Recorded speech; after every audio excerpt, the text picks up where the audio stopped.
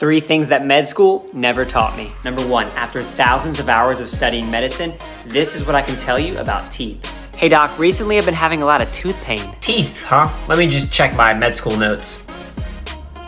Okay. Number two, nobody prepared me for the number of clicks on the computer that I would need for each patient visit. Why are there so many boxes to click? Number three, we never really learned about the price of medication. So sometimes a doctor may prescribe you medication but not know the exact price. But if you have the GoodRx app, you can find the lowest price of your medication at a pharmacy near you. Save your money, fam. Use GoodRx.